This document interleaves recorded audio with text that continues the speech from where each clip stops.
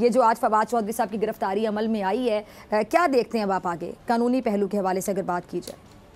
देखिए, बहुत शुक्रिया। पहली बात तो ये है कि जो फवाद चौधरी को उन्होंने गिरफ़्तार किया है, ये एक अंदाज का आगाज़ है। और आगाज़ क्या, ये ट्रेलर इसे कहा जा सकता है कि जिससे उन्होंने वो जो प्रोग्राम है उनका, उसके मुताबिक जिसपे उन्होंने अमल करके कोशिश कर रहे हैं कि वो पंजाब पंजाब के अंदर पीटीआई जो है उसको मुकम्मल तौर पर ख़त्म किया जा सके और कोशिश कर रहे हैं कि इलेक्शन ना हो तो इस सिलसिले में ये जो फरमा रहे थे ना जी कि हम्म। इमरान खान हमारी डेड लाइन है और अगर उन्हें गिरफ़्तार किया गया तो फिर आइन और कानून के दायरे में रहकर हम एहतजाज करेंगे देखिए आइन और कानून का दायरा जो है वो अब हुकूमत की तरफ़ से तो टूट चुका हम्म। है क्योंकि ये यहाँ मामला बिल्कुल जब आप आइन और कानून की बात करते हैं तो उसमें तो मुझे लगता है कि ये एक बड़ा बहुत बड़ा मज़ाक बन गया है डॉक्टर साहब एक बात बहुत जो इम्पोर्टेंट हम्म। है जो मैं बतौर कानून के तालब इलम के तौर पे महसूस करता हूँ वो ये है कि पाकिस्तान का निज़ाम अदल जो है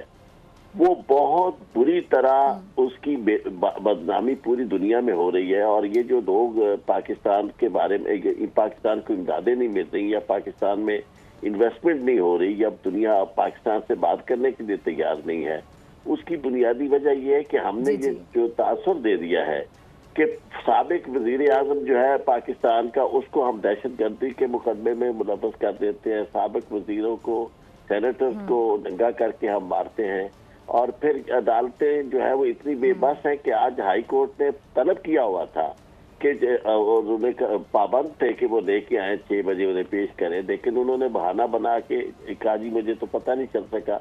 मैं समझता हूँ कि कोर्ट को चाहिए था कि वो इनकी इस वजाहत को बिल्कुल तस्लीम ना करते और अपने इख्तियार इस्तेमाल करते हुए उन्हें पाबंद करते कि वो पेश करें उन्हें अदालत में जो उनका हुक्म था उस पर पाबंदी हम्म, करवाते हम्म। ये ये पाबंदी ना करवा के ये मैसेज दिया गया है कि जनाब उनके वो नेम एक्सक्यूजेज जो कि अब इस तरह की जो उन्होंने लगाई है फोर्सेज आईजी जिस तरह का उन्होंने लगाया है या जिस तरह के वो ऑफिसर्स लगा रहे हैं ये वो है कि जो बिल्कुल इनके जहन में ये बात है कि जी कानून शनून जो है या अदालतें जो है इनके साथ हम बिल्कुल इस तरह मज़ाक कर सकते हैं।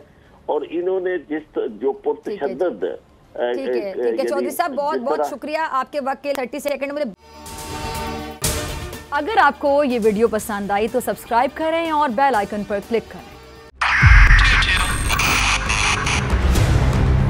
2022 बहुत सारे तोहफे भी देखे गया पाकिस्तान की आवाम को। पाकिस्तान की आवाम को एक तोहफा ये दिया कि आवाम को पता चल गया कि पाकिस्तान का मीडिया क्या है। साल 2022 में सबसे ज़्यादा देखे जाने वाला चैनल बोल न्यूज़ रहा नंबर वन। हमने बहुत सारे शोज़ और ट्रांसमिशन की पूरा साल मुसलसल जदोजहद में निकल गया कि ये वोट ऑफ़ कॉन्फिडेंस के पीछे कौन लोग थे तोड़े रेटिंग के सभी रिकॉर्ड सोशल मीडिया पर भी सबसे ज़्यादा तेज़ी से 2.4 बिलियन व्यूज़ का संगे मील अबूर किया। एंकर्स को भी आवाम में सबसे ज़्यादा मकबूलियत मिली और सोशल मीडिया पर भी बोल रहा सब पर भारी। सब्सक्राइब करें और बेल दबाएँ ताकि कोई खबर रह न जाए।